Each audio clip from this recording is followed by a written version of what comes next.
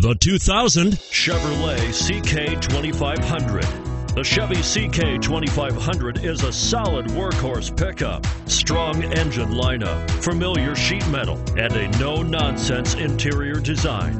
This vehicle has less than 120,000 miles. Here are some of this vehicle's great options power steering, tachometer, front reading lamps, passenger vanity mirror, front wheel independent suspension, four piece floor mat set.